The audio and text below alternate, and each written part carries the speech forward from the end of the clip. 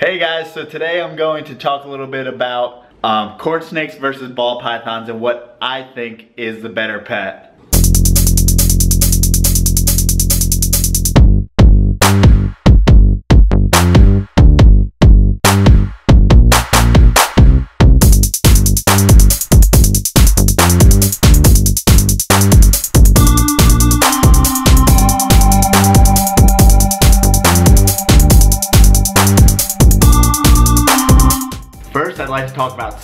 So both corn snakes and ball pythons are gonna be great sizes for pets. Of course, ball pythons are gonna be a little bit um, heavier bodied and then the corn snake is gonna be a slender, probably three or four feet, while the ball python may be in a similar range, but much more heavy bodied. And um, ball pythons, females are gonna be a bit larger than males. But a distinction for sure is that when you're buying a hatchling, you're going to have a ball python, which is um, a reasonably, you know, fits in the palm of your hand snake as a baby and is eating, you know, probably weanling rats right off the bat. So um, the difference is that the corn snake babies are actually very small. If you can see that. And um, the one thing is that they both are very escape prone. So for baby corn snakes, you wanna make sure that you have something that's very secure and they're not gonna get out of. So the baby I just showed you and all my other young corn snakes are kept in a rack. I am currently keeping mine in these tubs. Um, it can be smaller for a newborn corn snake, but I think these are a good size for me to have young corn snakes and then also even yearling corn snakes. So it serves the most purpose for my use. But don't worry if you don't have a rack system, corn snakes do great in uh, a lot of kinds of vivariums. Just make sure that it is very secure and they can't escape. And that's the distinction of the ball python. I don't think they do very good in aquarium setups. Quite frankly, ball pythons need to be kept at a higher humidity, hopefully over 50% in order to uh, shed properly and then also do all its other bodily functions properly. And aquariums just can't hold enough humidity for that. With corn snakes, they are very um, hardy snakes, so they don't mind uh, humidities all the way from 30% to 80% as far as they're seen as far north as New Jersey and as far south as the tip of Florida and the Florida Keys. Therefore, they're very forgiving animals when it comes to humidity. And for someone who's just buying a pet, um, you probably don't have a rack system, so that's a good thing to keep in mind. As far as adults go, you can very well keep them in 32 quart racks, which is what most most breeders do or like I do, I keep them in a 41 quart, the bigger size that you would usually keep adult female ball pythons in. Adult female ball pythons would go into a 41 quart just as well as an adult corn snake. And then the 32 quart would be great for a male ball python or adult corn snakes. So let me just open this up and we'll see an adult male and see how he stacks up to the size of this enclosure. So this tub, uh, most people would say that it's a little overkill as far as the size goes. But um, this is a 41 quart in a rack system. So it's keeping, uh, you know, very efficiently a bunch of uh, adult corn snakes. As you can see, corn snakes don't get very big. This is an adult male and they're very, very placid snakes. You know, but they are gonna do a little bit more moving around than a ball python. So a ball python for the most part will just hang out right in the palm of your hand. The corn snakes will uh, move about your hands and go explore.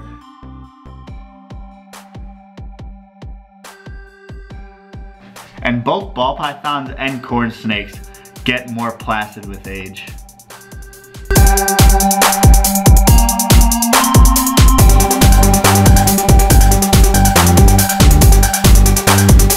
So both ball pythons and corn snakes come in a plethora of colors and patterns. But the, the fact is that ball pythons, the mutations have not been around as long as corn snakes, so the price is a lot lower on corn snakes. So like this snow tessera, you know, you can get what's considered a pretty high-end corn snake for only about $150 instead of for ball pythons to get on the higher end you may be spending a couple thousand dollars and just check out how the snake just hangs out and moves across my hands and stuff like that. And this is a yearling animal right here. Just such placid snakes. And of course, as in ball pythons and corn snakes, and in, and most all other snakes, uh, the smaller they are, the more defensive and more just overall jumpy they're going to be. But with some handling and some age, they all get a little bit better.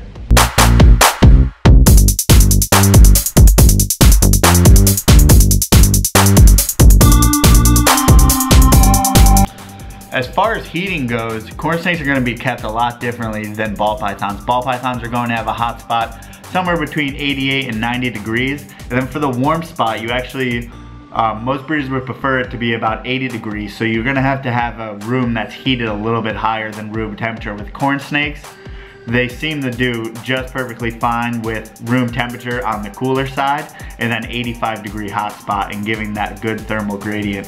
So therefore, a lot of people are keeping ball pythons a little bit too cool if they're having them in a normal room in an aquarium. It is a lot more sensible to uh, get a corn snake just for temperature requirements. And West Africa, where ball pythons are from, there's just not much temperature gradient. They're living in termite mounds that have high humidity and don't change as far as temperature goes pretty much all the time. They're very sedentary in that fact that they're pretty much always in that termite mound and they're, they don't do good to uh, changes in environment as far as temperature and humidity go.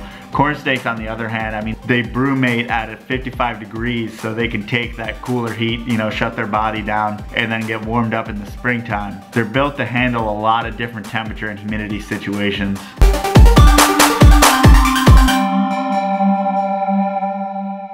When it comes to breeding, both species are very easy to breed as far as ball pythons.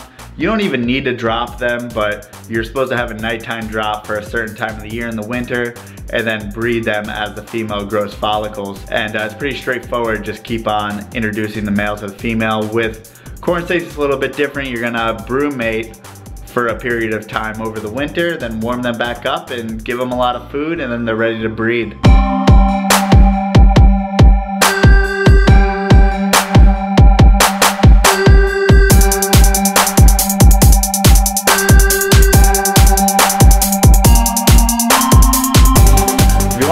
Information about breeding corn snakes, I do have a breeding corn snakes video. And always, when you're breeding, you gotta be prepared for the babies. So uh, corn snakes will have higher clutch sizes. Ball pythons may have 6 to 12 eggs, and corn snakes can have anywhere from like 15 to 30 eggs. So you're gonna see a lot bigger clutch sizes, smaller babies than the ball pythons.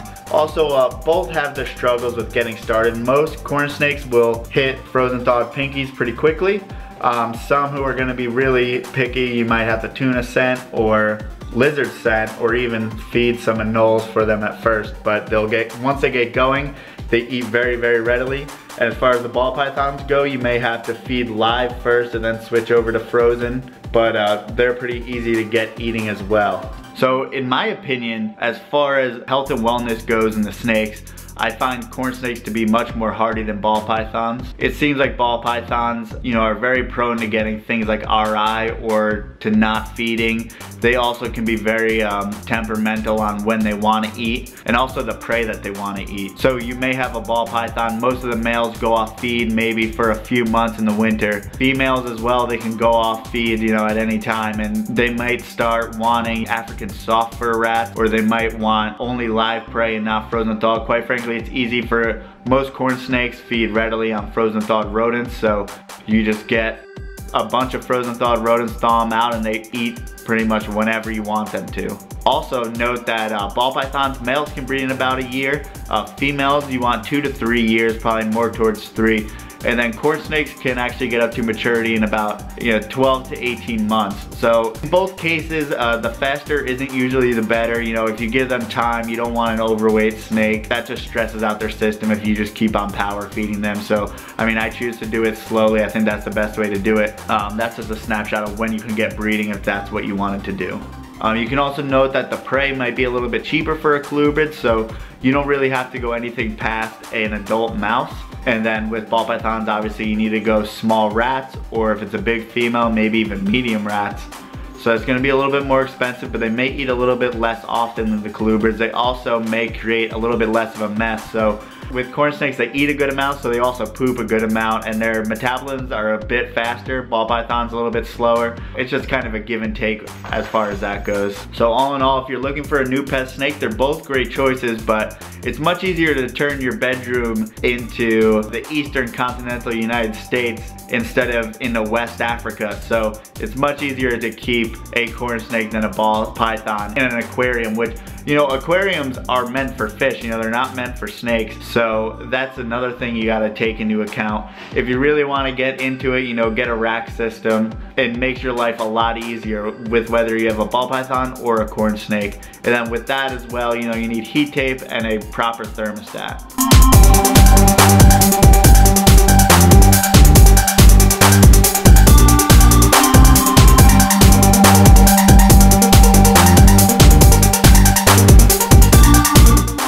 Comment below and tell me what you think, uh, corn snake or ball python. Always like, comment, subscribe. Thank you guys so much for watching. If you made it this far, you're on the team.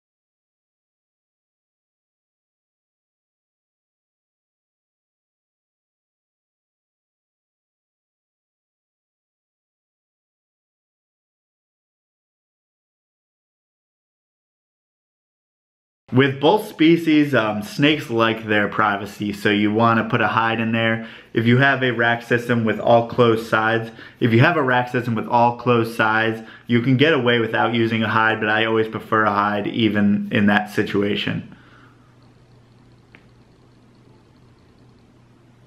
Also, keep in mind corn snakes are a little bit more active in the tank. So if you want to display a snake, a ball python not be the best. If it is moving around, uh, that usually is a bad thing for a ball python. So a healthy, uh, a healthy, happy ball python is one that doesn't move much. But corn snakes tend to, once they get a little bit hungry, they move around the enclosure looking for food. So they are a, a bit more active in that regard.